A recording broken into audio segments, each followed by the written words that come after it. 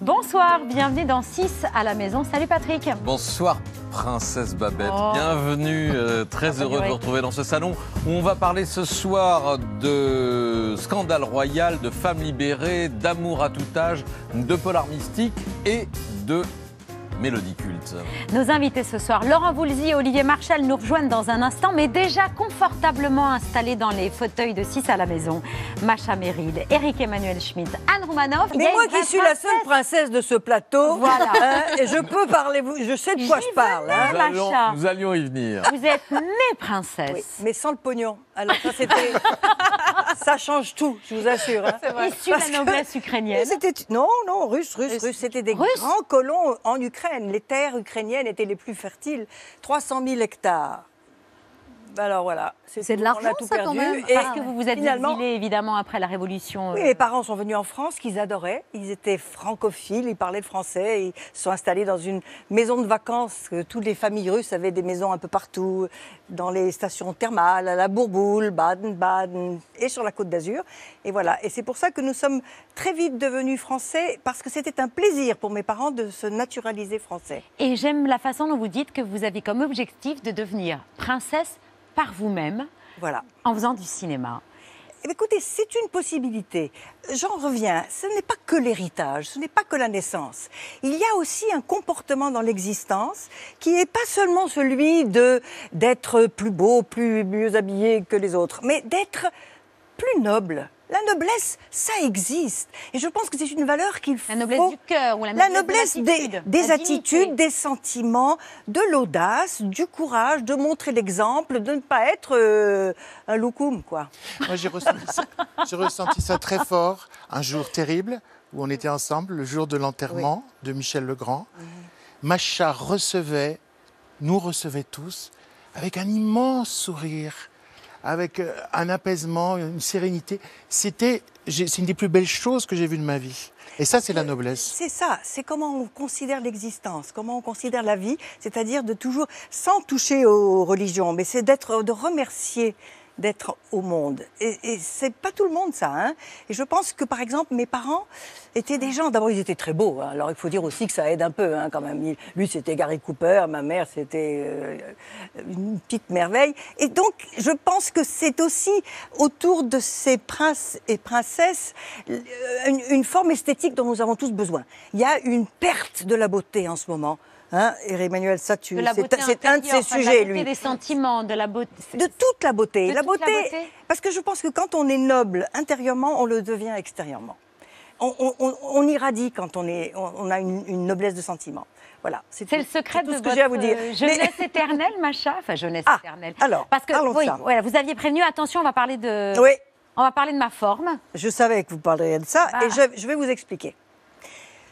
Il y a un truc dans son livre extraordinaire dont tu t'es même pas rendu compte. À la fin de son livre, un peu vers la fin, son, son héros, qui s'appelle Noam, et qui est un immortel, il a finalement, une vie- c'est un espèce d'astérix érotique, euh, son personnage. Je te souhaite le succès, le succès d'Astérix. oui, c'est un bon Ce serait plutôt On a envie d'aller lire. Ah ben oui. très bien. Et donc, il a Félix plein de femmes, sujet. il a plein de femmes, des femmes qu'il aime, des femmes qu'il n'aime pas, enfin un peu de tout. Et puis finalement, il a, il a un enfant. Et cet enfant, c'est vers la fin du bouquin, qui grandit. Lui, il est immortel, mais l'enfant est mortel. Et lui, il vieillit. Et petit à petit, il doit éloigner son père parce que le père le dérange, parce que le père est tr- trop jeune. Et je connais beaucoup de femmes qui, quand elles deviennent mères et encore plus grand-mères, s'effacent pour ne pas faire de tort à la fille, pour être continuée. Et je donc pourquoi je suis une jeunesse éternelle? Parce que ma vie a été un peu bousculée, que j'ai pas eu d'enfant, que je sais pas quoi, j'ai fait autre chose. Je suis moins normale. C'est les autres qui sont pas normales. C'est-à-dire celles qui vieillissent, celles qui se confinent dans un rôle de grand-mère ou de mère. Non, attendez, c'est très sérieux. Exactement. C'est très sérieux. J'aime beaucoup parce que Anne, Anne est sur la même longueur d'onde que vous. Ah, ben, avec la vie qui ne s'arrête pas parce que Mais on pas a plus de seulement. 50 ans parce qu'on divorce, par exemple. Moi, je, je trouve que c'est moi qui suis un exemple vrai Oui. de ce que est mon âge. J'ai 80 balais et je suis comme une femme de 80 balais. Les autres, c'est parce qu'elles s'habillent en noir, elles, tout d'un coup, elles, elles, elles s'éteignent, elles se compriment. Mais pourquoi Elle se confie. Non, mais tout le monde n'a pas votre vitalité, Macha. Vous avez Si, parce que, parce que justement, parce que je ne suis pas mère ou grand-mère et que j'ai pas, on m'a pas collé ce rôle sur la tête. Donc je suis Ah. naturelle. Voilà. Naturel. Et c'est exactement ce que vous expliquez, Anne, dans Tout va bien. C'est le titre de votre spectacle. Que vous vous sentez mieux à 50 ans, 4 40 ans. Qu'est-ce qui s'est passé entre un divorce? Les gens souvent me disent Mais Anne, mais qu'est-ce qui t'arrive? T'as rajeuni, t'as embelli. On va le refaire. Non, souvent les gens souvent me disent Mais Anne, mais qu'est-ce qui t'arrive? T'as rajeuni.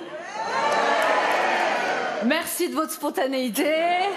Mais Anne, quel est ton secret? J'ai trouvé une méthode très naturelle pour rajeunir. J'ai divorcé. Ben voilà, c'est une bonne Et technique. ben voilà. Et ben voilà, vous êtes un peu d'accord, toutes les deux. Être Non, non, mais de toute façon, moi j'admire énormément Macha. Et moi, c'est réciproque parce, qu'elle a beaucoup de finesse, Alors, et je vais de vous dire un truc et de drôlerie. plus- Je vais te dire un truc plus compliqué.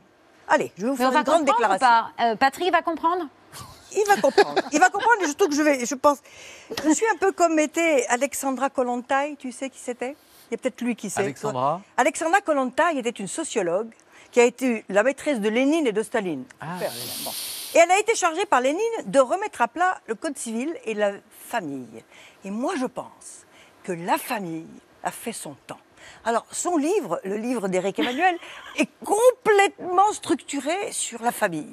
Les rapports, le père, le frère, tout ça. euh, Moi, je pense que tout ça, ça a volé en éclats.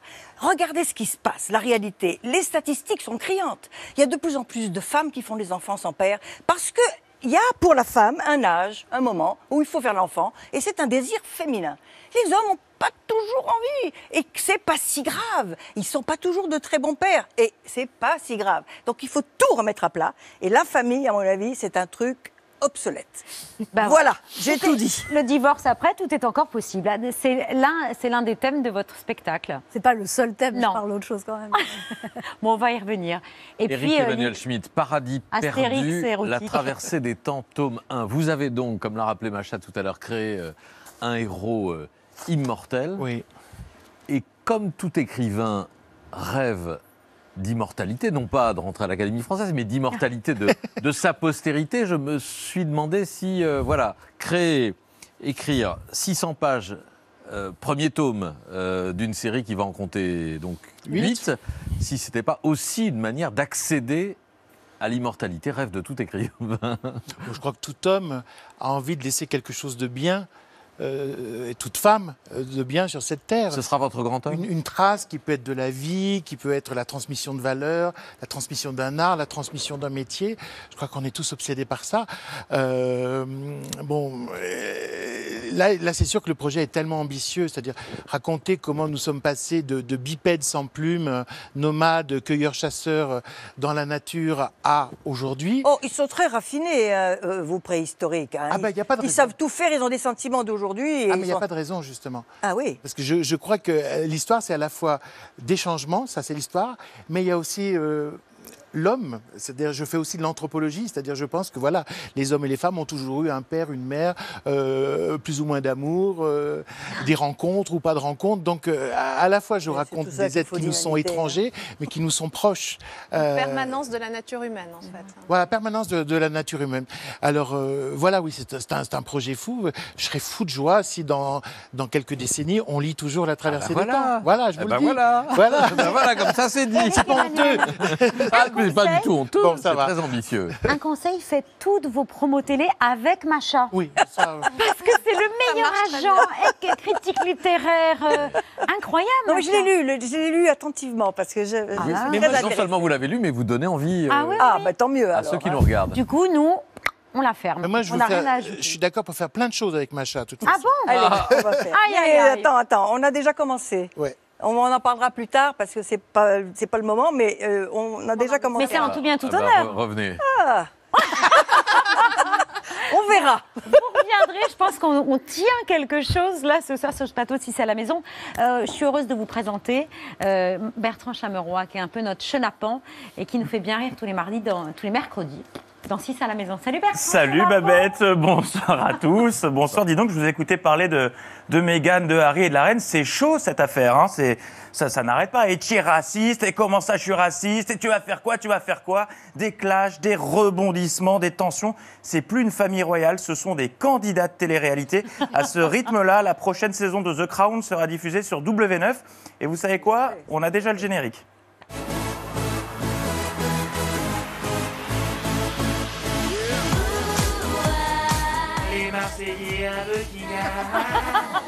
J'ai hâte euh, de découvrir euh, le prochain épisode. On enchaîne avec du sport et l'image de la semaine, l'accueil du vainqueur du Vendée Globe, Yannick Bestaven, de retour chez son sponsor. Imaginez, le type a passé 80 jours et 3 heures seul en pleine mer, à galérer avec les lèvres gercées, les mains calleuses. Il a gagné la compète et pour célébrer sa victoire, il a eu droit à ça.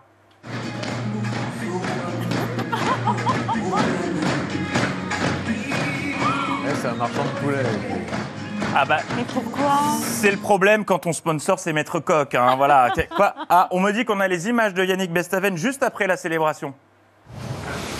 Ah bah il est reparti, ouais. Demi-tour. On aurait tous fait pareil. Je comprends Yannick, je comprends.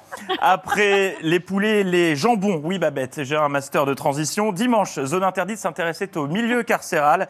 Et je soupçonne donc les journalistes de Zone Interdite de nous prendre un chouille pour des jambons. Une petite pêche, un petit yaourt, toi Toi, il te faut Danone comme les enfants, hein Tu veux rien? Je t'amène le feu après. Quand on a fini à gamelle, je t'amène le feu. Un feu, c'est un briquet. Ah, c'était donc ça, le feu c'est un briquet, Babette. Moi qui pensais qu'il allait lui ramener un véritable feu de bois, non, c'était d'un briquet dont il était question. Parce que je peux être tête en l'air parfois. On passe à l'improbable vente de la semaine. Il date du 21 mars 2006, le premier tweet du fondateur de Twitter. Je viens juste de configurer mon Twitter. Ce tweet est mis aux enchères. Voilà, vous pouvez l'acheter. Eh oui, quelle époque formidable. Le patron de Twitter met en vente son tout premier tweet à destination des collectionneurs. À l'heure où je vous parle, les enchères ont dépassé les 2 millions et demi de dollars. Oui, alors, il n'y a pas de raison. Moi aussi, j'ai envie de me faire de l'argent facilement. J'annonce donc la mise aux enchères du tout premier tweet. Non pas de Patrick, qui est encore sur son bebop, Oui. mais de Babette. Oui, Babette, nos équipes l'ont retrouvé. C'était le 5 juin 2012. J'ai l'angoisse du tout premier tweet. Un message retweeté 14 fois et aimé 5 fois en 9 ans, hein, c'est-à-dire si c'est fulgurant. Eh bien, si vous rêvez d'acquérir ce tweet, appelez-moi, faites vos propositions. Euh, les enchères sont ouvertes. J'ai un téléphone. Non, mince. J'attends. Après, on peut pas tout effacer. C'est c'est ouvert. N'hésitez pas à appeler. Le standard, euh, Ah, mais moi, je peux l'aimer si. c'est c'est très ça- calme. Vous pouvez, bien Je peux sûr. l'aimer aussi, simplement. Ah, ah bah, C'est Samuel oui, allô? Oui, d'accord. Babette, on a une propale à 2,30€ et un ticket resto. Je- Bon. On prend, on, On prend, on prend. On Sinon, prend. allez, moi je On n'aura propose pas de- mieux. d'attendre un peu, histoire que ça monte un peu. Et pour patienter, justement, puisque le temps commence à paraître long, sans restaurant, sans ciné, sans spectacle, sans musée, je vous annonce la mise en place d'un tout nouveau service, une messagerie rose d'un nouveau genre pour assouvir vos pulsions. Appelle le 08 12 12 36 15 et entre en relation avec des hôtesses pour les dialogues les plus excitants du moment. Ce midi, notre plat du jour, c'est bavette à l'échalote et gratin dauphinois. Ouh Je peux vous apporter votre café gourmand en terrasse? Hum. Choisis ton fantasme et frissonne en écoutant des phrases interdites. La séance pour Ducobu 4, c'est à 14h10. Votre popcorn, sucré ou salé? Anne sera en tournée à partir du 12. Gredin. Retrouve le monde d'avant en appelant avant la messagerie la plus chaude du moment. Ah, ça m'a émoustillé tout ça. Allez, bonne nuit et n'oubliez pas, les enchères continuent. hein. Ah oui, on, on- on interrompt le programme si on a une enchère. euh, Évidemment, je casse l'antenne à tout moment. On est à 4,30€ à l'heure où je vous parle. Merci beaucoup, c'était l'instant de bamboche. Ça fait du bien, non? Ah oui.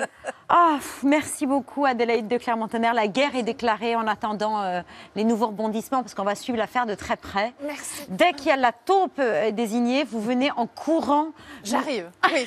Vous, pareil, vous interrompez les programmes. Merci beaucoup Adélaïde de Clermont-Tonnerre. La guerre est déclarée, point de vue. Merci Eric Emmanuel Schmitt. Merci. Paradis perdu, le premier des huit hommes pour cette histoire de l'humanité, ce travail titanesque dans lequel vous vous êtes lancé. Ils sont déjà écrits là. Les- En tout cas, ils ont les titres. Ils hein, sont les- tous conçus, je suis en train de finir le deuxième. Ah, très bien. Et vous sortez un roman, Adélaïde de Clermont-Tonnerre. Ça parle de prince et de princesse? Pas du tout, rien à voir. Là, c'est justement mon évasion à moi. J'ai repris mon passeport et je parle d'autre chose que de princesse.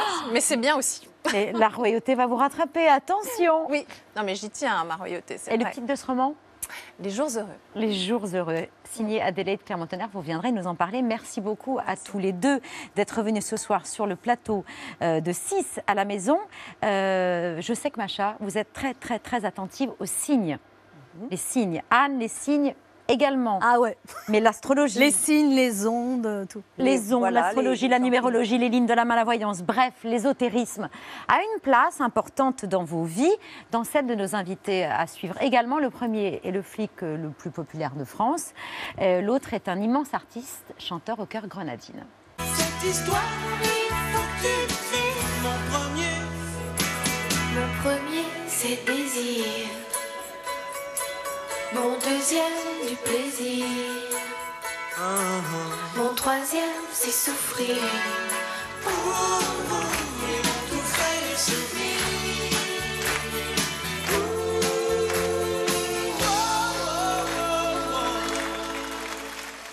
Bonsoir, bienvenue Laurent Voulzy, Olivier Marchal. Ravi de vous accueillir Bonsoir, sur le plateau 6 à la maison. Bonsoir, Cette chanson, on ne l'a pas choisie au hasard du tout.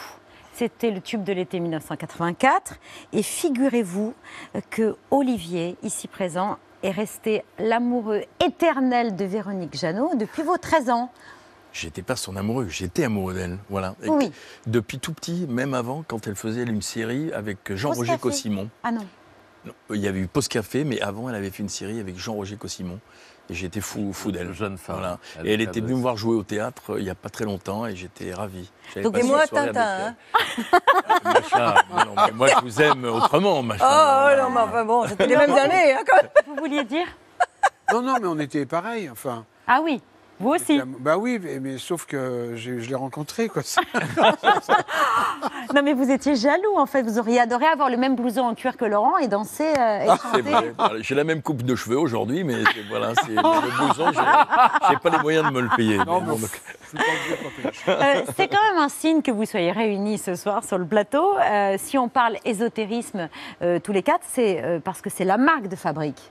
Entre autres, des Rivières Propres, la série télé euh, inspirée des best-sellers euh, de Jean-Christophe Granger. La saison 3 a démarré lundi. Dans les deux premiers épisodes, euh, on découvre un serial killer qui tue ses victimes par ordre de signes astrologiques. Ah oui, c'est- plus simple. ça pourrait être Anne. Euh, un homme mystérieux qui a une colonie de serpents euh, euh, dans une serre chez lui. D'ailleurs, vous passez un petit moment fort sympathique, Ouais. Olivier, Ouais. ligoté dans cette serre. Ouais. Ça, allait Non, les serpents, non, il y avait le dresseur quand même qui était à côté, mais j'en avais 7 ou 8 autour. Et surtout, il m'avait dit, il faut pas bouger. Donc, euh, donc j'ai pas bougé. Alors, je suis sur le matelas et, je, et à un moment donné, il y a, il y a l'un qui s'est dressé comme ça et qui, qui est resté de profil. Et la scène durait quand même 2 minutes 30. Il est resté comme ça et moi comme ça. Et euh, c'est vrai qu'il s'est rien passé parce qu'il me disait, vous voyez, de temps en temps, il morde. Donc, il avait plein de traces de morsures, lui. Oh là là. On leur enlève pas le venin avant de Ben, le tourner venin, ils l'ont enlevé, mais ils mordent. Ils- de temps en temps, s'ils sont énervés, ils, ils- ils mordent. Mais euh, franchement, j'ai tourné même. avec des rats dans un autre et ça, là, euh, et les araignées, j'aurais eu du mal. Mais euh, Vous n'êtes pas prêt pour Fort Boyard, quoi. en non, pas du tout. non. Je déteste les araignées. Ce qui est passionnant, euh, c'est justement l'opposition entre deux mondes, le monde euh, mystique, euh, euh, ésotérique, et l'autre très rationnel du flic, Ouais, du policier, ouais, ouais. qui lui se- est très loin de cet univers-là. Bien sûr. Après, évidemment, euh, moi j'ai été flic comme tout le monde, enfin beaucoup le savent, euh, pendant 12 ans, mais on n'a jamais été confronté à ce genre de, tueur. Là, on, part dans l'univers de Jean-Christophe Granger, où il mélange justement des, des réalités euh, historiques et, euh, et, euh, et scientifiques, mais, euh, et ésotériques, mais euh, où il, il mélange avec un certain réalisme.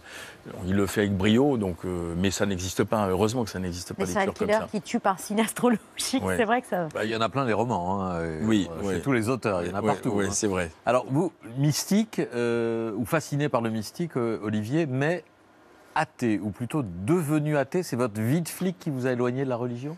Alors, euh, j'allais au catéchisme et j'ai été élevé chez les curés en pension. Donc, j'avoue qu'il y a un curé qui m'a mis une gifle une fois, donc ça Ah bon, m'a. c'est mieux que la main au. Enfin bon, Voilà, ça m'a, ça m'a, euh, tout ça, parce que je jetais des Ça- marrons. euh, ça- dans- ça a dans fait baisser votre dévotion Ça a fait baisser ma dévotion. J'avais un prof de philo qui était un curé qui me détestait.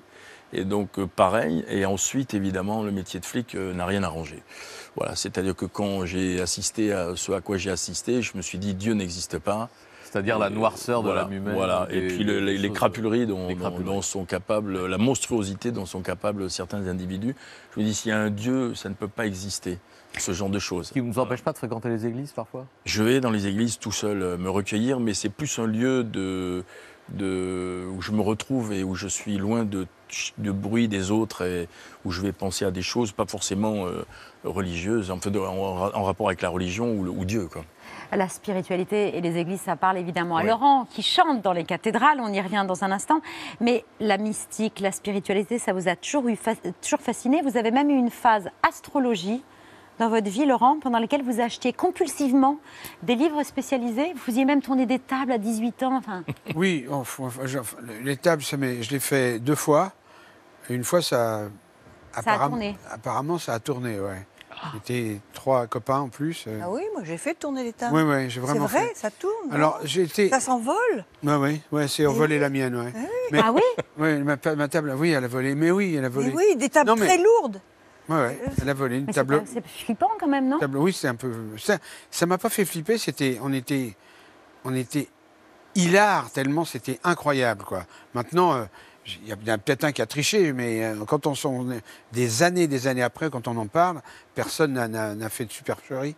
Non, mais oui. Alors après, j'ai eu cette époque euh, où j'ai acheté beaucoup de livres sur l'astrologie. C'est-à-dire, j'étais très attiré depuis mon, depuis mon adolescence par l'invisible. Donc, donc tout ce qui était, euh, tout ce qui était euh, les choses un peu magiques, un peu m'attirait quoi. Alors bon, à un moment, un jour, j'ai découvert euh, l'astrologie, donc j'avais acheté une petite machine qui donnait la, compatibilité entre deux dates de naissance. Alors je faisais ça avec tous les gens. T'es né quelle date et tout. Alors je faisais ça. Et puis du coup, avec cette machine, j'ai j'ai commencé à me passionner par et, et acheter des livres sur l'astrologie, à m'intéresser à l'astrologie, à discuter avec des astrologues. Et puis après, plein d'autres choses. Et petit à petit, c'en est venu. euh, j'ai commencé à m'intéresser- à la mystique. Mm. Donc voilà. Donc euh, après, bon. Bref. Macha, euh, la spiritualité, la communication. Oui. euh, Alors moi, il y a une chose à laquelle je crois vraiment, ce sont les médiums. Les médiums qui ont vraiment des perceptions extraordinaires. J'en ai connu une qui était convoquée par la police pour trouver les personnes mortes dans les fleuves.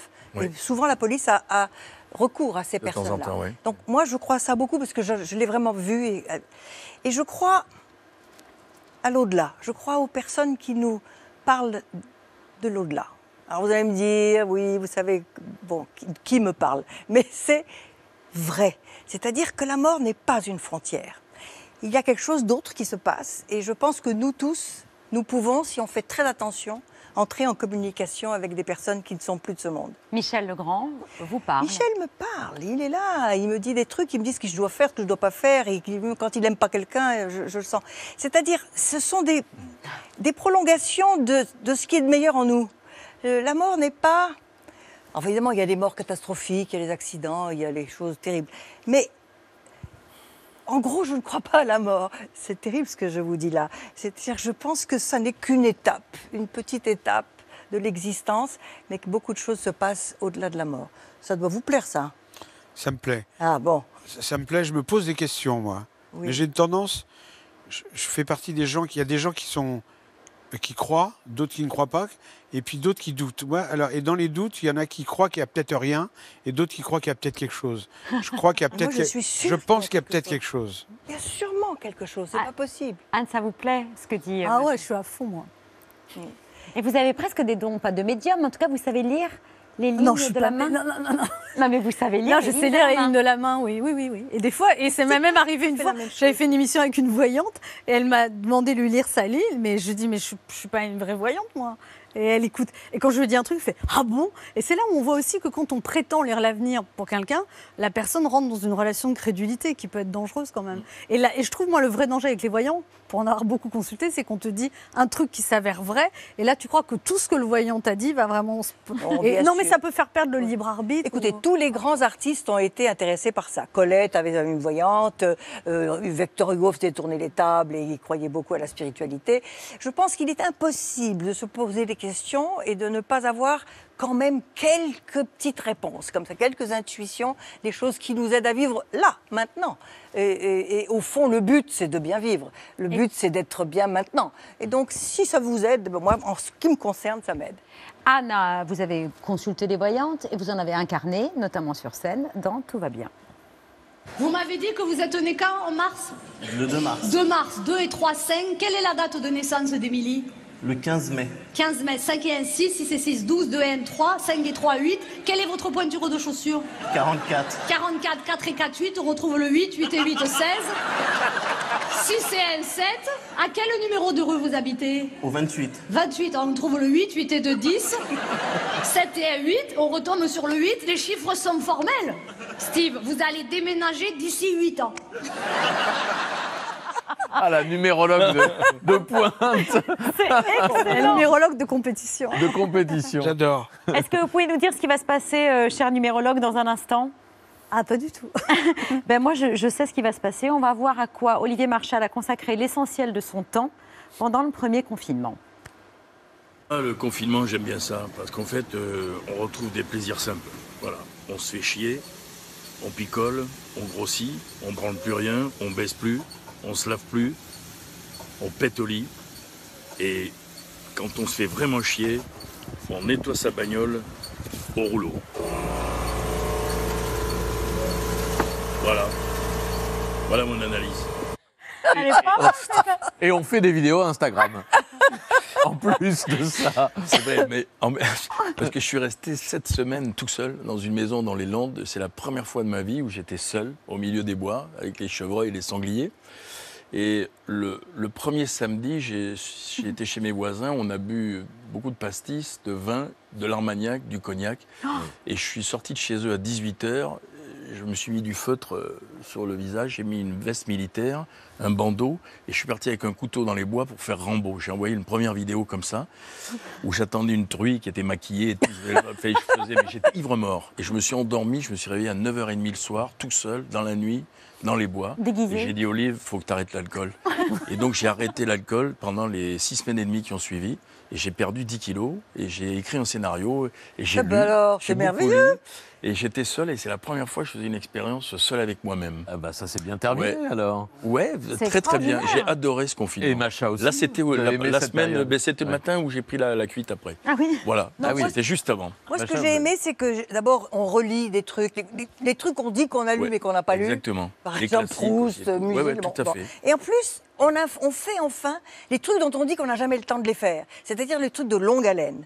Écrire euh, un livre, là, Eric Emmanuel Schmitt, probablement, il, il a profité du confinement pour écrire son bouquin. Parce que c'était le, le temps long. Le temps long nous manque terriblement. je Hmm, trouve. oui, exactement. Et moi, j'espère que ça va rester ça. C'est-à-dire que de toute cette expérience que nous avons tous eue d'utiliser le temps long, que ça ne disparaisse pas complètement. Je veux dire qu'on se calme un peu tous là. hein, On est redevenu Voilà. contemplatif, quoi. Voilà. J'ai adoré ça. Ouais. Bon, il y en a d'autres qui ont continué à travailler. Anne, par exemple, était à l'antenne pendant tout le confinement. Et vous avez notamment euh, eu l'occasion de rendre hommage aux soignants régulièrement, mais aussi aux policiers. Je crois que c'est l'une de vos chroniques les plus partagées et vues sur les réseaux sociaux. Regardez, après les attentats de 2015, on adorait les policiers. Et maintenant, et maintenant, c'est moins évident. Moins. Non, parce que par exemple, vous voyez, policier, c'est pareil, c'est bien payé, policier. Non, Mhm. pas vraiment. Ah bon? Non, mais c'est un métier tranquille, policier. Ah bon Ah non, pas vraiment. les infirmières mettent des pansements, les policiers sont des boucliers humains. Bref, ils sont courageux à notre place. Ils sont courageux. Ça démarre par une blague, ça finit par un hommage. Et c'est ce qui fonctionne le mieux euh, quand tout d'un coup, sous prétexte d'humour, euh, vous parlez de ceux qui sont en première ligne, quoi, euh, des métiers difficiles et dont on, s'est rendu compte de l'utilité et du caractère essentiel pendant cette crise. Bah, en fait, je- mes chroniques, je les fais un peu à l'intuition du moment. En fait, c'est marrant quand je les re-regarde, comme c'est pas des spectacles. En fait, je les fais une fois, je les oublie. J'ai oublié que j'ai dit tout ça, mais euh, mais, c'est- mais en effet, j'aime bien l'alternance. J'aime bien faire rire et qu'après il y a un truc euh, qui suscite la réflexion. C'est pas juste du rire en fait, qui ait du sens. Olivier, vous n'êtes plus policier depuis 30 ans, presque 30 Mmh, ans. Il y a toujours un, une fidélité, un esprit de corps. hein. Dès Oui. qu'il y a des attaques, des soucis, etc., vous êtes toujours là pour les, pour les, de- pour les, pour les ouais. défendre. euh, Vous pensez que les policiers sont les boucs émissaires de. Oui, complètement. Ap- Après, euh, évidemment, euh, ce que je déteste, c'est l'amalgame, c'est tout. Il y a 1% de, de- de policiers qui peuvent avoir des dérapages euh, qui sont inexcusables et qu'on peut en même temps essayer de comprendre hein, parce qu'ils sont tellement euh, à bloc et oui. puis niés par, euh, niés par euh, tout le monde. Quoi. C'est- Donc après, moi, j'ai une affection particulière. Je- je- c'est un métier que- qui, qui m'a fait beaucoup souffrir. Euh, J'ai vu beaucoup de copains... Vraiment, euh, ma lettre s'appelait Larmes de flic d'ailleurs, parce que j'ai vu beaucoup de flics pleurer. J'ai euh, face à tout ce qu'on faisait, tout ce qu'on voyait, euh, les autopsies de gamins, les, les, les, cris- les, les- suicides familiaux, la femme, les enfants, le, le chien. le- Enfin, vous voyez, vous avez de la cervelle partout et tout. Enfin, euh, on a passé des Noëls, euh, comme j'ai écrit une nouvelle là-dessus, où on a fait toute une famille comme ça, où le type avait flingué ses deux, gamins dans leur lit, le chien, sa femme et lui, au fusil à pompe. Et on a, fait, on a passé toute une nuit de Noël à faire les constatations. Et moi, j'ai dit, Noël ne sera plus jamais pareil pour moi. Et Noël n'a jamais, plus jamais été pareil pour moi. Donc, c'est vrai, quand je vois des attaques euh, qui sont outrancières, euh, parce qu'il ne faut pas exagérer non plus, j'ai- on n'est quand même pas euh, euh, à Johannesburg pendant le pendant L'apartheid. On est, on est quand même en France, les flics savent se tenir et, et il faut retenir euh, les 99% qui sont bien. C'est tout. Et j'ai de la tendresse pour eux. Je, et, et- et- et- et je sais ce qu'ils font. Je suis parrain de la brigade anti-gang. Euh, tous mes copains sont ceux qui sont rentrés au Bataclan les premiers. Je suis, je suis copain avec les gens du RAID aussi. D'ailleurs, Gérard Lanvin, je l'ai intronisé, c'est le nouveau parrain du RAID euh, après Jean-Paul Belmondo. Eux aussi sont attentifs à ce que les artistes euh, posent un œil sur eux. Et je trouve qu'il y a un systématisme, euh, mais c'est un peu un sport, un sport national savez, en c'est France. notre faute. C'est un C'est- systématisme c'est de- de, 68. casser du flic. Quoi. On a lancé. CRS-SS. Oui, puis à Et l'occupation. c'est resté. C'est ça qui est malheur, Ouais. c'est que la jeunesse qui s'est opposée Ouais. à la police en 68 Hmm. a créé le, le- le syndrome Oui, de, de l'opposition entre, disons, les forces vives d'un pays, la jeunesse, les étudiants et Ouais. les flics. Ouais, ouais. Et c'est malheureusement resté ça. Hmm. Et je Oui, pense que c'est un fait. truc très indécrottable, ça, dont on aura beaucoup de mal à se débarrasser. Ça n'empêchait pas Laurent de vouloir devenir policier hein, quand vous étiez petit. C'est pas vrai Oui, euh, très petit. Il n'y a pas longtemps, alors. Non, il n'y a pas longtemps, non, c'est- il y a vraiment, il y a, non, c'était flic euh, ou médecin ou paléontologue. Oui, mais là, c'était tout ça, c'était petit petit. Ah oui. Non, mais c'était, oui, j'avais un habit de policier. Ah bah oui. J'avais, j'ai- j'avais 6-5 ans. J'avais un habit de policier avec le képi, des gants, des gants blancs, j'adorais. Une sacoche avec, blanche avec un revolver. J'étais, petit, hein. Mais en même temps, j'ai du respect pour, pour les, les ex-collègues de, d'Olivier. Mais bon, Bah oui. c'est vrai que c'est compliqué, quoi. Mm. C'est sûr qu'il y a des abus. euh, Mais Disons qu'aujourd'hui, moi, mes copains flics, ils, ils- ils- ils ont honte et ils ont peur pour leur famille. C'est ce qui est grave dans ce pays. Ils sont obligés de dire à leurs enfants de mentir. Moi, tous mes copains du RAID, ils disent qu'ils sont profs de gym, ils sont éducateurs, euh, ils sont éducateurs sportifs, ils disent pas. Alors que nous, à mon époque, on était fiers de. Ça marchait avec les filles. On était, on était flics. Non, mais c'est vrai en plus. C'était un truc, il y avait une espèce de, de gloriole, euh, De de, fierté à être flic qu'on a totalement perdu aujourd'hui. Et ça, c'est pas normal. Alors Voilà, que chanteur, voilà, ça a toujours marché avec les filles. Oui, c'est vrai. Ça continue à marcher avec les filles. Oui. Et surtout, les chanteurs. Enfin, On passe du flic à... truc. Ah ben là, on est là. tu Elle est bonne, elle est bonne. hein. Non, mais. Là, c'est- vous génial. maintenant, hein, c'est votre moment, Laurent. hein. J'adore, j'adore. Pardon. Bah, du coup, ça m'a coupé dans mon Mais élan. non, c'était bien. C'était pour parce que je voulais parler de vous, euh, cher Laurent, et Oui. dire euh, à quel point vous faisiez partie de la collection de Patrick. La collection de Patrick, c'est que chez lui, il a, il a des petits mausolées de tous les artistes qu'il aime. Il y a du Macha, il y a du Anne Romanoff, il y a du Olivier Marchal et il y a du Laurent Voulzy dans la collection de Patrick. Voilà, et dans ma collection, il n'y a pas que euh, Rock Collection, il y a la collection de toutes les femmes que vous avez chantées, aimées, célébrées, ces femmes qui ont peuplé euh, votre vie, vos souvenirs ou vos fantasmes. Trois exemples. Arrêtez de m'envoyer des fleurs. J'ai une femme à Paris et vous un gentil mari. C'est son la musicale comédie.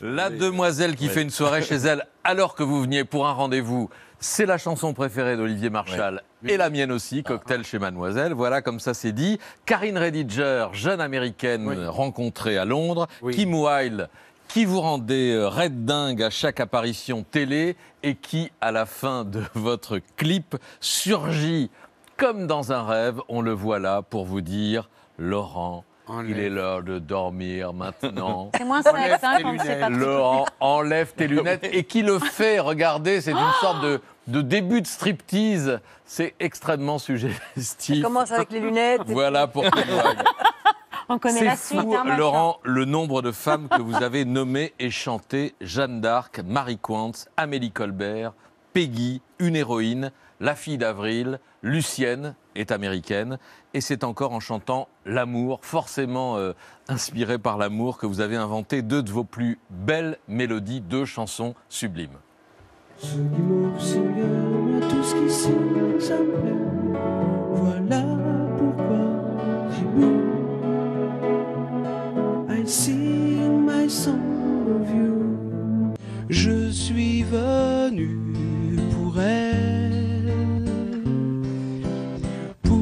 s'endorme ensemble, qu'elle vole avec mes ailes. Hmm, je suis là pour l'amour, il semble. Voilà, la simplicité et la beauté de cette mélodie euh, guitare-voix. Euh, Laurent, dans ce paysage féminin qui domine votre répertoire, vous évoquez aussi votre sorcière, une jaguar qui vous entraîne chaque soir. Vous la chantez dans l'album Avril. Comment et vous puis, connaissez cette chanson? Et puis il y a la la, et puis il y a la la Riken. collection de Patrick. Et puis il y a la Riken. Ce n'est pas une fille ni une voiture, c'est la guitare à 12 cordes, Oh. la Rickenbacker achetée à crédit pour jouer Rock Collection, Collection. et qu'on vous a volé un jour à l'hôtel Hilton de New York. Il connaît Dans la, tout, il connaît tout. Mais dans la chanson Riken, Oui, oui, oui. elle est votre petite sœur. Voilà. Enfin, entre votre quasi-frère Alain Souchon et vous, y aurait-il eu une histoire de fille? Question posée à l'écoute de l'unique chanson de votre duo où l'autre est nommé Alain. Père sur le bon Dieu, si demain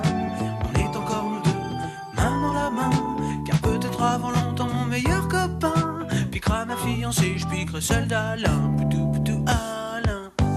J'avais oublié cette chanson. La chanson Jalousie sur l'album Jalousie. Bopper en larmes. Une maison merveilleuse et sans jalousie, j'avais oublié. ouais, ouais. Eh ben Je voilà. piquerai celle d'Alain. Je C'est piquerai celle d'Alain. Alors explication Ah bah non, mais c'était juste pour faire une petite fin. Euh, euh, piquera ma fiancée, je piquerai celle d'Alain. Voilà. donc, Ça rimait, quoi, ça rimait. Mais n'est- pas- ça n'est pas arrivé. Rien de plus, évidemment. Et les femmes comme inspiratrices, oui. Oui, oui, bien sûr. Non, mais l'amour, c'est vraiment un, un sujet éternel. Il n'y a pas que ça comme inspiration, mais sans, sans- c'est un sujet vraiment extraordinaire. Parce que toutes les histoires d'amour ont l'air de ressembler, elles ne se- en même temps, elles ne se ressemblent jamais. L'amour, c'est comme la musique, c'est deux choses divines. C'est-à-dire, on croit, il y a 12 notes, de, 12 notes hein, Ouais. on, on fait des, en ce moment, il y a des centaines de chansons qui sont créées dans le monde et qui ne se ressemblent pas. C'est quand même étonnant. En ce Ça moment, m'a toujours étonné. ça. et, et l'amour, on croit qu'on n'aimera plus Mhm. et on aime. D'un seul coup, on va aimer un enfant, son enfant, une, une- un- son nouvel amoureux, sa nouvelle amoureuse, quelqu'un à qui on va s'attacher. Ça ne s'arrête jamais, quoi. C'est un flux continu. Non, mais l'amour, c'est quand même. Et Inépuisable. Et pas toutes, mais beaucoup des chansons euh, qu'a rappelé euh, Patrick sont dans l'album Florilège, euh, Oui. évidemment. Bon, Euh, l'album, euh, vous ne dites pas best-of parce que vous êtes élégant et qu'on aime le fait que vous... Florilège. Florilège. C'est du Euh, français au moins. Oui, c'est ça. Exactement. Moi, je le disais de façon aimable et Bravo. machin un peu moins. Ben oui, c'est du français. Euh, Parfait amour avec Alain Souchon depuis 47 ans, sans aucune histoire de jalousie. Non. Autre duo extraordinaire euh, de musique, Jacques Demy, Michel Legrand, forcément. Euh, on les retrouve en 1966 en train de composer euh, la musique des Demoiselles de Rochefort, cher machin. Voyageons de ville en ville, de Val-de-Loire au bord du Rhin, on nous a fait de l'île forain, la bouteille de Notre-Dame ici.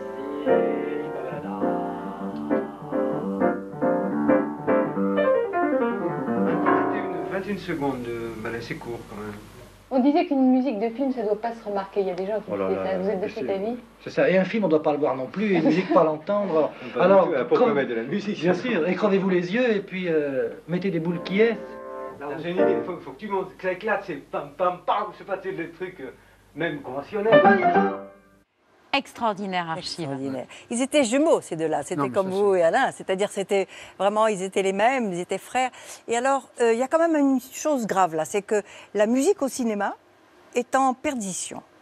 Et c'est un peu pour ça que je vais créer ce festival Michel Legrand et le prix Michel Legrand. Qui sera Je vous en l'annonce officiellement. Ouais. Le- vous êtes la première émission où j'en parle. Nous allons créer ce prix qui, cette année, va être remis dans une soirée unique, euh, remise sur les euh, réseaux sociaux, parce que Covid oblige. Mais je veux faire un festival de musique de film. Ça n'existe pas. Il n'y en a pas. Et vous savez pourquoi? Parce que les producteurs ne veulent pas payer la musique avant. Ah, ça, c'est mon petit jingle. Regardez. Et regardez-le depuis le début, parce que ça, c'est la fin. C'est Ding Dong Alors, euh, par je vous explique Legrand. le pourquoi de ce petit dig ding ding dong. C'est parce que Michel était collectionneur de petits personnages. Regardez. De petits instruments. De petits instruments de musique C'est faits.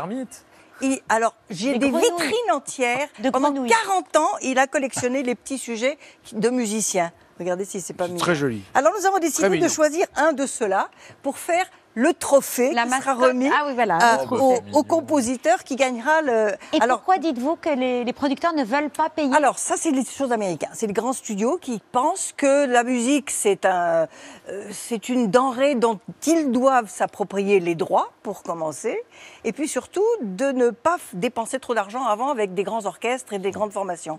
Donc, c'est un peu un problème en ce moment. Et j'en ai parlé avec tout le monde, avec Alexandre Desplat, avec euh, les- tous Ouais. les compositeurs d'aujourd'hui, avec Yari- euh, sûr, Gabriel Yared, etc. Et c'est un, un- alors, il y a un petit combat idéologique, c'est-à-dire de revaloriser la présence du compositeur au cinéma. Et puis aussi, écoutez, pensez, tous les grands films, c'est toujours une grande musique. Oui.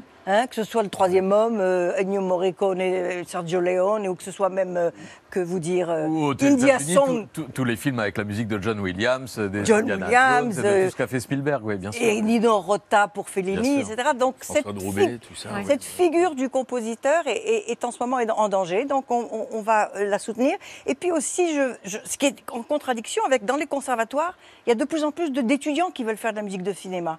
Donc euh, il y a, une Il y a un de- vivier. il y a un- voilà. Alors Il y a on va. un vivier, il faut le mettre en valeur. Voilà, c'est ça. Et tout les à l'heure- protéger. Tout à l'heure, vous m'avez dit quelque chose qui m'a surpris, c'est que juste avant qu'on vienne sur le plateau, c'était qu'il n'y avait pas de, il y avait pas de prix à Cannes pour la musique. Est-ce que vous savez ça C'est quand même, On- c'est c'est une quand même honte. dingue. Il y a combien de films on- Il y a, il y a se aux, Oscars Ouais, il y et a des n'y Césars, il y a des Césars. pas, il y a ouais, des bien Césars, il n'y a pas un prix musique Oui, au, au Festival de Cannes. Ben, on connaît un peu le président du festival. Ah, vous allez de lui en Cannes. parler, s'il vous plaît, hein, de ma part. Exactement, ma chère. Mais avec Bertrand Tavernier et d'autres, on se bat depuis un certain temps pour Mais c'est vrai que c'est un, c'est un combat important. Très Laurent important. qui a écrit des musiques de films. Et alors, je, je lui ai fait une confidence.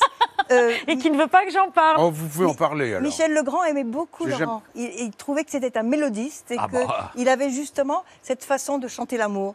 Et Ah. donc, euh, Michel Legrand faisait un peu une exception, parce qu'il était sévère. hein. Il était terrible avec tout le monde. Mais il aimait avait- Laurent Voulzy. Mais il aimait Laurent. Voilà. Bon, et très bien. Et Ça fait plaisir. Eh ben oui, ça fait drôlement mal, j'imagine. Ah, ça- non, mais ça me, ça me, ça me, ça me flatte beaucoup, ça me touche beaucoup. Et Michel vous a laissé des, des trésors aussi, Ah oui. Macha, c'est-à-dire des, euh, des morceaux de musique, des partitions qui n'ont pas été euh, exploitées, qui n'ont pas été utilisées. Vous avez euh, fait appel à des grands écrivains, admirateurs de Michel Legrand, pour mettre des mots sur ces, sur ces Alors, musiques. ce qui est extraordinaire, il était tellement prolifique, il a tellement écrit que nous avons trouvé plein d'inédits. Des comédies musicales, un concerto pour violon qui n'a jamais été joué, un oratorio, un opéra, enfin bref, c'est inouï, et un carton qui contenait 300 chansons. Alors attends, là-dedans, il y a 30 tubes. Tous, une plus belle que l'autre, extraordinaire. Et alors, de son vivant encore, je lui dis, mais Michel, il faut faire quelque chose avec ces musiques. Et c'est moi qui ai eu l'idée, je lui dis, on va demander à des grands écrivains d'écrire en français des paroles sur tes musiques. Et comme il était assez modeste, il me disait, oh non, tu sais, ils s'en foutent. Eh ben non, dès que j'ai soulevé mon téléphone, tout le monde a dit oui. Éric Emmanuel Schmitt, justement. Qui était là tout à Il en l'heure. a déjà écrit une extraordinaire d'une audace euh, érotique incroyable. Il a euh, Irène Frein, euh, Philippe Grimbert, Dar Benjeloun, Régis Debray. Vous voulez croire? C'est un fou de Michel Legrand. Donc c'est assez extraordinaire parce que j'attends de les avoir tous pour pouvoir faire un grand disque et je vous l'enverrai. Merci beaucoup. Voilà. Et ben voilà, les C'est cadeaux. une sont belle idée, non. C'est une, c'est Ah, une c'est belle une idée. magnifique Mais idée. surtout, Michel, il est un peu éternel parce que c'est un grand, grand classique, Je Michel crois Legrand. qu'ils en veulent aussi. Et pas à moi, Olivier moi, je- disque. Toi, tu l'auras, mais aussi, mais je te ferai payer, toi. On ne sait pas pourquoi. C'est tombé sur vous. Bah c'est- Voilà. c'est toute ma vie, ça. Une voiture à laver euh, au rouleau, un truc comme ça, Olivier Non, mais je veux bien partir avec les chansons de, de, de, de Laurent, moi, parce que je pars en- sur un tournage là après. Ah bah, Ah bah, Je crois qu'il y a 11h30. C'est vrai dedans. Non, non mais ça vous ennuie pas, Bah, bien sûr Mais que je vous non. l'achète autrement. hein. Ah non, Non, avec moi, c'est gratuit. Non, mais je, je- c'est mais non, aussi, ça me fait tellement plaisir. c'est- Il y a les plus belles chansons, tout ce que j'aime. Je vais Ah faire non, la mais route c'est avec, génial, ça va être Florilège. génial. Exactement. Vous filez en tournage et on vous retrouve tous les lundis soirs à 21h05 sur France Merci. 2 jusqu'au 29 mars dans la saison 3 des Rivières Pourpres. Ce pourpre, Pourpre. le commandant de Niemens, C'est difficile à dire. Pour qui est bourru, mais qui a un grand cœur. Oui. Et il vous ressemble pas mal. hein. Merci, Babel. Merci beaucoup, Olivier Marchal, d'être venu ce soir. c'est adorable. On a parlé spiritualité, religion. Il y a une religion qui va mettre tout le monde d'accord ici.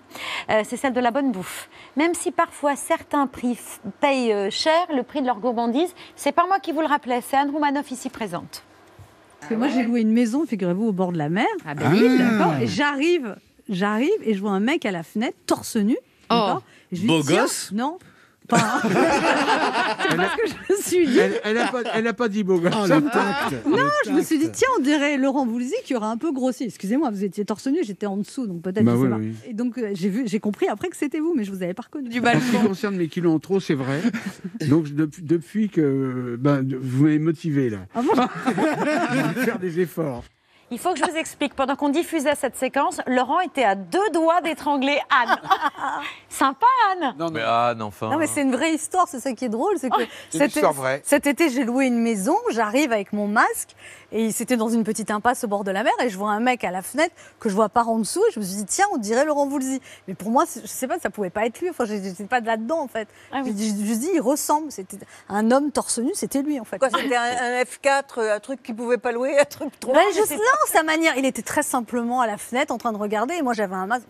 Et je vais dans la maison et en fait, c'était lui. Laurent Voulzy. Et partout où j'allais, on me disait Ah, vous êtes là Vous savez que Laurent Voulzy, il a un appartement. Et- ah, et on- pendant une semaine, on m'a parlé de lui nuit Ah et oui, jour. en très fait. agaçant. Non, pas du tout. Mais elle m'a trouvé un peu, euh, Non, mais. un peu rond. Ce qui est vrai. Tout va bien. Oh, Ça m'a- attendez, alors il reste plus Tout que va ça, bien. C'est vrai. et on va pas. C'est vrai, je reconnais. On accueille Xavier Pincelin, euh, qui nous a rejoint. Bonsoir, cher Vous allez bien Xavier. Euh, vainqueur de Top Chef 2016 et surtout l'un des jeunes chefs qui dépoussière la cuisine sur les réseaux sociaux. Euh, on y revient dans un instant. Mais forcément, avec trois gastronomes et gourmands, on était ravis de vous accueillir. Euh, mais vous aussi, vous avez pris du poids pendant le confinement comme Ah tout le ouais, monde. j'ai pris, euh, j'ai pris 9 kilos. ouais. C'est quoi cet examen? Bah ouais, parce que moi je suis euh, chef cuisinier à Versailles, j'ai un restaurant gastronomique et euh, je fais euh, 19 heures par jour de travail. Et là, on a tout arrêté euh, du jour au lendemain et euh, Ah oui. bah, j'ai pris 9 sédentaire. kilos. C'est-à-dire que je rentre chez moi et je mange comme tout le monde, mais je mange bien. Voilà. Et euh, ce qui se passe, c'est qu'aujourd'hui je fais de la vente à emporter et tout. Donc j'ai repris l'activité, ça marche très bien même. Et je tiens à dire que c'est un secteur, euh, il faut développer le, Et, et vous livrez à vélo aussi? Ah, je livre à vélo, en voiture, tout. Voilà. Je suis très impliqué et, il y a- et ça marche bien aujourd'hui. Je suis très content. Bon. Mais je pense que ça va même durer. Vous allez voir dans le temps, ça va. C'est une des façons qu'on aura de se nourrir dans l'avenir. sûr. Je pense. Si, si j'ai- si je me suis permis de parler euh, de votre euh, prise de poids euh, pendant le confinement, et si Anne a tout de suite remarqué qu'éventuellement Laurent avait un peu pris, c'est parce que les régimes. Non, je suis désolée. Ouais, c'était- C'était une petite blague que j'ai fait à la radio. De Mais faut c'est- enregistré la radio. Maintenant c'est filmé. Voilà. Ah bah oui, grosse Maintenant, c'est à la télé. Il y a des millions de gens maintenant. Les régimes, ça revient Ça sera diffusé pendant trois mois tous les jours. Mais les régimes, ça revient souvent dans vos, dans vos spectacles, Ah oui, oui, Anne. c'est un problème. C'est pas un problème parce que ça concerne tout le monde. Vous avez même écrit un slam du régime dans un précédent euh, spectacle. Et dans la vraie vie, vous emportez votre balance euh, en vacances, c'est vrai ça? Non, bah là non, mais euh, moi aussi pendant le confinement j'ai bien prospéré. Mais non, non, bah, en fait j'ai passé ma vie à me battre toujours contre. ah, je, je descends, je remonte. Et des fois quand je vois des vidéos, je me dis ah bah là j'étais mince. Et après d'autres, voilà, bah, c'est comme ça. C'est une nature. C'est une nature. Je c'est une profite aussi. Bah oui. Et bah- j'adore, j'adore manger. Exactement. Michel Legrand aussi mettait 12 sucres dans son thé. C'est vrai, Macha, ça Ah, C'était incroyable. Comme les grands sportifs. C'est-à-dire qu'ils, vraiment, et c'était vrai, si j'en mettais que 11, ils voyaient la différence. Donc, c'est il avait vraiment besoin de sucre. C'est- des natures comme ça. Et il n'a jamais eu ni aucun euh, Diabète. aucun diabète, ni aucune euh, euh, forme déformation quelconque. Du... Macha ou l'art du titre pour ses livres de cuisine. Vous en avez écrit quatre. Cinq même. Sur les Ah, cinq, cinq, alors j'en ai quatre déjà. Sur les pâtes, joyeuses pâtes. Pour le riz, moi j'en ris. Pour les haricots, haricots-ci, haricots-là. C'est formidable. Et puis il y a aussi C'est prêt dans un quart d'heure et il me manque le cinquième. Ce soir, c'est ta fête. Ce sont des Ah. repas psychologiques. Dîner avec la belle-mère, la première fois que tu la rencontres, l'anniversaire d'un enfant difficile, euh, la scène de rupture, le repas que tu dois faire pour quand tu dis adieu. Il y a beaucoup, beaucoup de... Vous avez pensé à toutes les situations Toutes les situations. dans lesquelles il faut malgré tout parce que ça s'impose. Et vous des- cuisinez toujours autant Toujours. Mais moi, je suis pas du tout. enfin, je fais de la cuisine de bonne femme, moi. La Ah, cuisine qui présente pas bien, mais qui est. Mais qui est bonne. Voilà. Vous, travaillez, euh, vous faites Ouais. ça avec vos tripes. Et puis, alors, euh, C'est pour bon, c'est bref, je fais attention aussi parce que. C'est drôle de faire un. Imaginez un repas pour un repas de rupture. Je sais pas. Absolument. Et il faut que ce soit facile à mâcher. Que C'est faire Il faut que ce c'est soit facile à mâcher Eh bien oui, il faut, faut qu'on puisse parler. Donc il ne faut pas trop encombrer, il ne faut pas avoir des choses euh, difficiles à mâcher et à couper. Il faut que tu souffles. Ah, c'est pas empoisonné, ni rien de tout ça. Non, non, non. Et puis surtout, il faut penser aussi à des. Ah oui. à des, Ah, vous, vous assassinez à- vos des vitamines. Comme ça, on est débarrassé. Vraiment une rupture. Ça s'appelle le bouillon de 11 heures, ça. hein.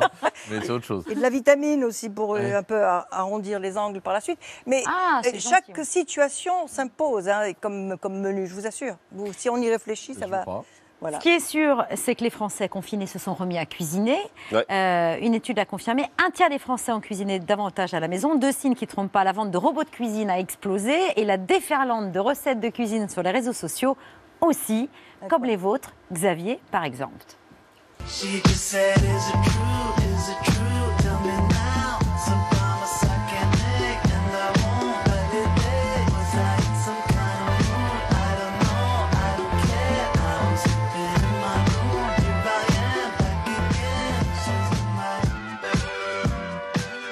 Oh, j'ai envie d'une raclette. hein. Ouais, c'est une nouvelle façon de cuisiner. C'est que vous cuisinez, dans- le fromage c'est le plat. Avec Ouais, une raquette ça. de tennis. Parce que ça, en fait, c'est un- TikTok. Voilà. C'est euh, une autre expliquer ce que façon. que TikTok. TikTok, c'est un nouveau, euh, enfin, c'est un réseau social. Il y a Instagram, il y a Facebook, il y a tout. Euh, Aujourd'hui, TikTok, c'est autre chose. C'est la nouveauté. C'est pour les jeunes. c'est Les jeunes, mais plus que les jeunes. chorégraphié, c'est chorégraphié en Voilà, il faut, euh, c'est dynamique, et il faut faire le buzz, ok? Il faut tout de suite Ok. euh, attirer l'œil. Euh, c'est un écran, en fait, Instagram c'est carré, TikTok c'est tout l'écran.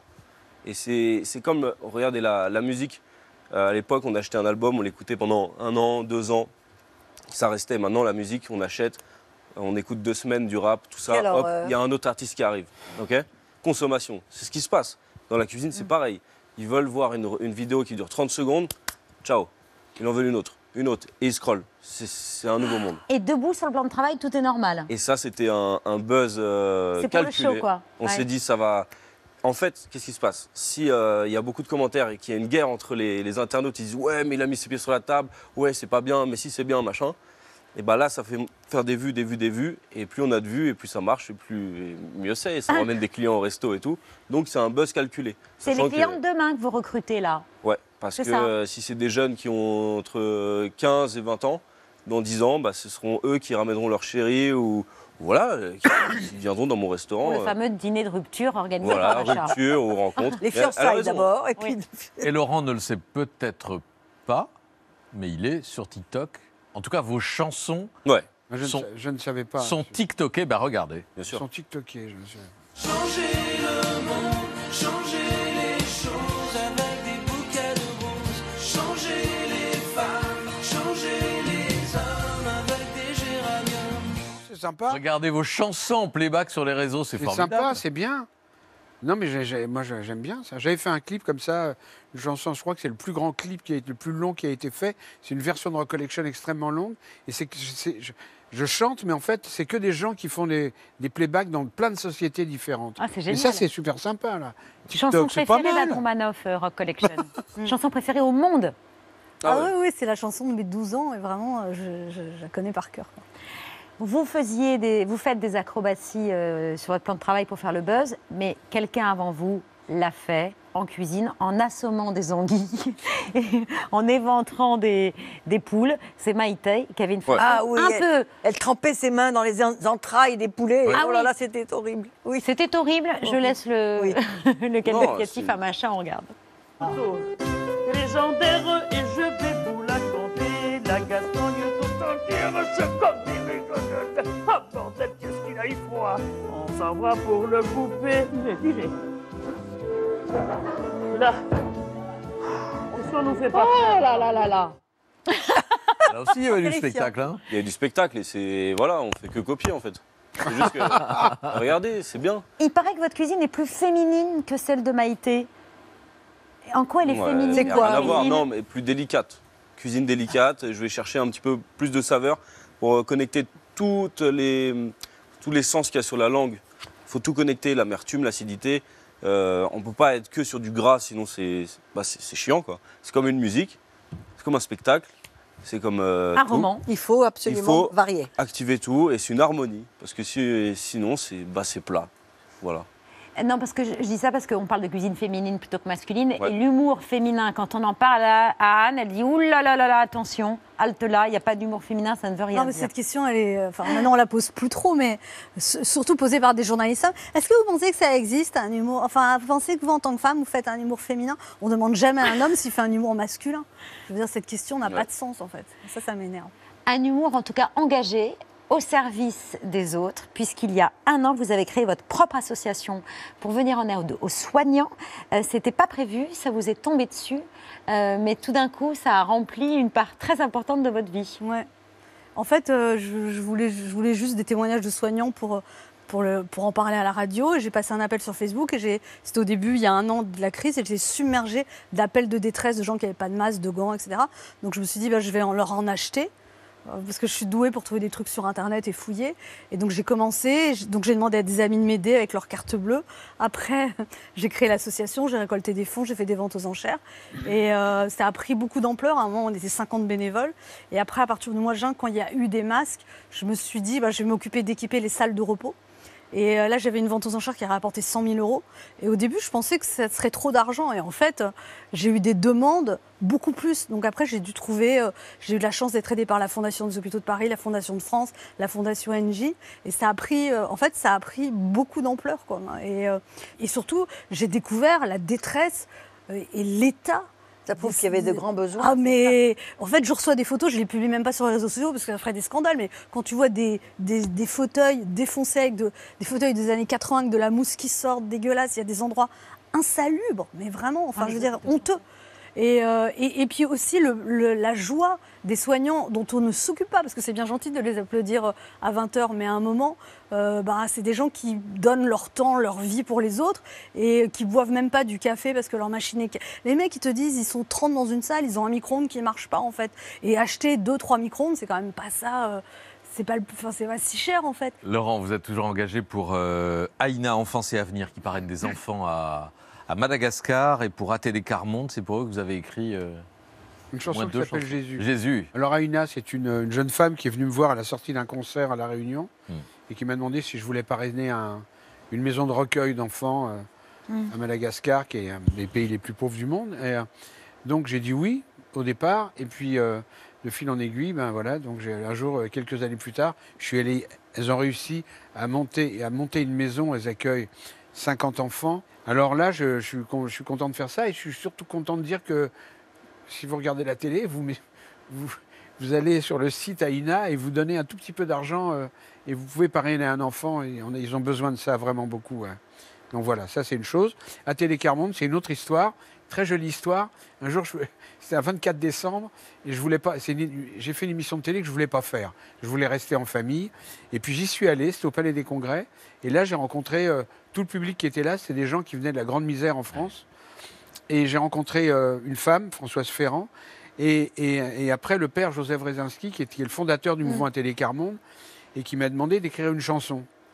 Alors je lui ai dit, écoutez, il me dit pour une chanson pour les gens qui sont dans la misère.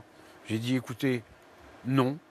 Enfin, votre, votre- votre demande me touche, mais je ne veux pas le faire. Il faut être légitime pour faire ça, quoi. Et alors il m'a dit, non, non, vous allez le faire. Je vais vous écrire. Alors il m'a envoyé une lettre, j'ai jamais répondu. Il est mort de 2-3 ans après. Et j'ai commencé à avoir des remords, Mm. évidemment. Et, et j'ai contacté le mouvement. De fil en aiguille, pendant 2-3 ans, 3 ans, ouais, je suis allé aux universités du Quart-Monde euh, toutes les 3 semaines à Paris. C'est des gens qui se réunissent, formidables. C'est des gens qui sont dans la grande misère. Et des gens de la ville, euh, ça peut être nous. Et on y va et on, les écoute parler, on parle ensemble et tout. C'est formidable. Mais je disais rien, j'écoutais. Et puis un jour, euh, on était à Pâques avec Alain. Et puis on, était parti en Bretagne pour écrire des, chansons pour un album. Et, Alain me dit, est-ce que tu as une idée pour euh, ta première chanson? Il faut qu'on écrive des chansons maintenant. Alors je lui dis, ben voilà, j'ai une commande qui m'a été faite il y a quelques années. Et donc on a écrit cette chanson qui s'appelle Jésus. Et alors ce qui est drôle, c'est qu'avec Alain, tout le monde s'embrasse dans, ce, dans, dans la vie maintenant. Oui. Les copains s'embrassent. et les- les- Un peu moins en ce moment, hein. En ce moment, on ne s'embrasse plus. Oui, mais ça va- ça- ça pourrait revenir, oui. mais- mais- et nous, avec Alain, on serre la main. Oui. Jamais embrassé, sauf le jour de l'an ou de l'anniversaire. et là, c'est la première fois. De Il était 2 heures du matin, on venait d'écrire une minute de chanson déjà. On a chanté cette chanson-là en Bretagne. Et, c'est- et- et, euh, et après avoir chanté ça, on s'est pris dans les bras l'un de l'autre. C'est vraiment la première fois qu'on le faisait. Et moi, j'avais des larmes aux yeux. C'était comme si euh, j'ai senti du froid, de la glace sur moi. C'était très extraordinaire, justement. On parlait des choses invisibles. Ce, ce prêtre qui m'avait demandé, qui m'avait demandé quelques années auparavant d'écrire une chanson, chanson. ce soir-là de Pâques, pendant que c'est Alain qui chantait d'abord les paroles au début, il les avait dans les mains. On venait de commencer la chanson. J'ai senti de la glace sur moi et mes yeux qui se mouillaient. Et Alain qui se moque toujours de moi, parce qu'Alain, quand on part écrire des chansons ensemble, moi je fais de la méditation et tout. Et, et quand on se retrouve au petit déjeuner, il me dit Alors, tu l'as vu, ça y est? Donc, il a... Et là. Vous avez dit il a- oui, je l'ai vu. Et là, Il il, a- a ressenti de la glace sur lui, pareil que moi. Et il s'est pas moqué. Voilà. C'est incroyable. L'histoire de Jésus et de votre fidélité à Télé Carmonde, c'est merveilleux. Oui. Merci. Et je crois que je vous l'aviez, enfin, je vous ai jamais entendu la raconter, en tout cas sur Bah un non, plateau de télé de C'est à vous ou de Si c'est à la maison. Merci beaucoup. Ben non, mais je vous en prie. de non. nous avoir confié l'histoire de cette chanson. voilà. Jésus, vous êtes tous engagés pour les compositeurs de musique, pour les soignants, pour ATD Carmonde, pour aussi les soignants, puisque vous avez Soignants aussi, livré des, des- des repas pendant le confinement. Vous avez été solidaire, cher Xavier. Merci Ouais. beaucoup d'être venu ce soir sur le plateau à à la maison. Vivement la réouverture des Ouais, restaurants. carrément. On est tous dans les starting blocks pour reprendre les kilos qu'on avait perdus. Ou au contraire, perdre ceux qu'on avait gagnés. Ou Enfin, perdre bref. ceux qu'on avait inverser. Oui, moi je veux bien reprendre Ouais. des kilos. Donc, vivement qu'on vienne se régaler chez vous, cher Xavier Pincemin. Euh, dans un instant, c'est l'heure du live avec Laurent Voulzy. Mais tout de suite, en attendant, vous vous installiez, on écoute les recos de Bertrand. Ah, les rocos. Les recos qui sont de retour.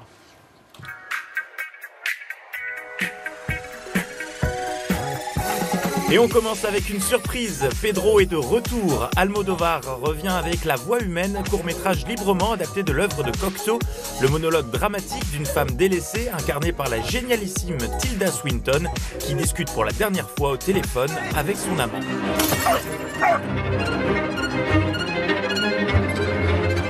Alors désolé, mais c'est tout ce que je peux vous montrer. Pour en voir plus, il faudra patienter jusqu'au 19 mars et la sortie en DVD. Ça existe encore les DVD Première nouvelle. Eh oui, et une sortie dans les salles est également prévue prochainement. Vous pensiez que le sort du pays dépendait d'Emmanuel Macron? Quelle naïveté. Ce sont ses prédécesseurs qui s'en chargent. C'est le pitch délirant du ministère secret, la BD signée Mathieu Sapin et Johan Sfar. Le tome 1, Héros de la République, vient de sortir. On y croise Sarkozy, Hollande, Trump, Poutine ou Cantona. C'est super drôle, complètement déjanté et bourré de références à l'actu, alors foncez l'acheter. Parce que c'est notre projet J-10 avant le printemps. C'est printemps, les amis Mais je vous propose de filer directement en été. Il joue quand même moins bien que la plupart des politiques. hein.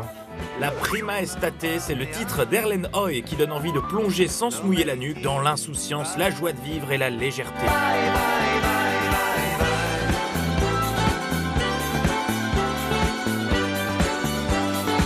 Voilà, maintenant vous savez quoi lire, regarder et écouter.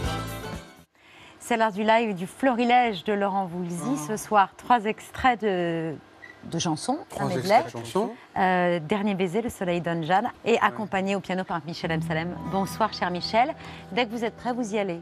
Faites comme chez vous. Quand vient la fin de l'été, sur la plage. Il faut alors se quitter, peut-être pour toujours. Oublier cette plage et nos baisers.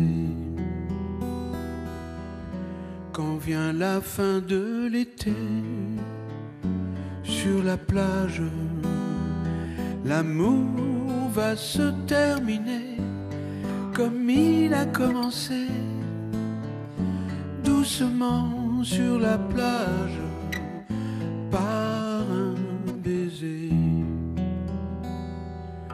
soleil est plus pâle et nous n'irons plus danser. Crois-tu qu'après tout un hiver, notre amour aura changé quand vient la fin de l'été? Sur la plage?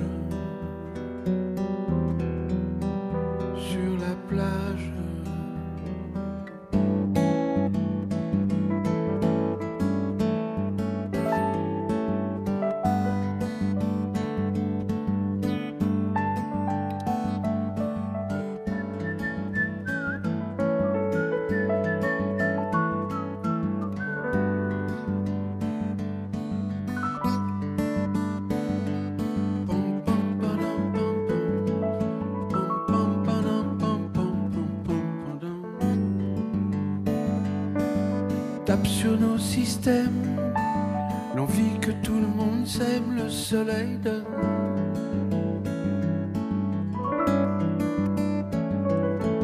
Ce vieux désir super, qu'on serait tous un peu frères, le soleil donne. Le soleil donne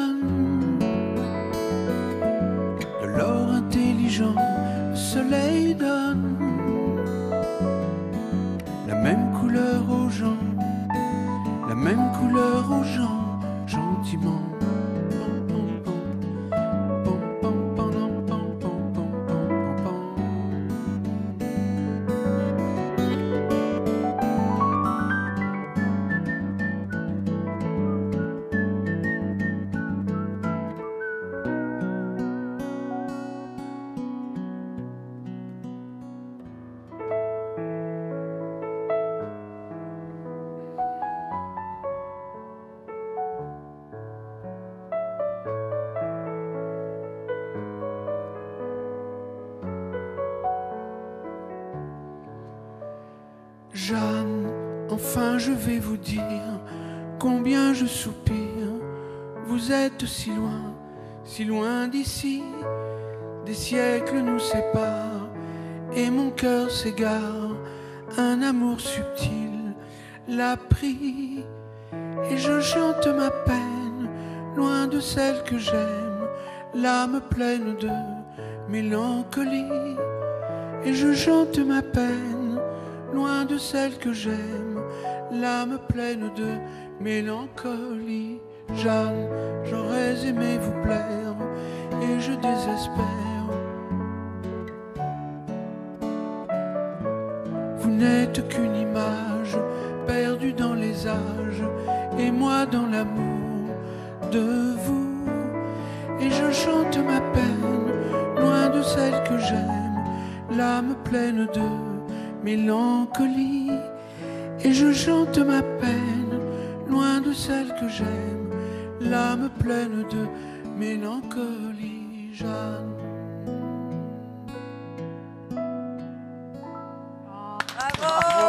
Bravo, Laurent Bravo, Laurent.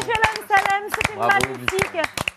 Deux extraits florilèges. Venez nous rejoindre, cher euh, Laurent. Le temps que je rappelle que Dernier baiser, Le soleil donne et Jeanne, évidemment, sont des chansons qu'on retrouve sur le double album Florilège de Laurent, qui est disponible depuis le 4 décembre dernier. On a encore un peu de temps pour euh, le, se le procurer. Et puis, vous serez en tournée partout en France dès que possible, tout comme Anne, avec votre spectacle Tout va bien. On espère que ça va revenir le plus vite possible sur scène. Hmm Que tout va aller là- mieux au plus vite. Voilà, d'ici là, on peut vous écouter toujours avec plaisir du lundi au vendredi sur Europe 1 de 11h à midi et demi.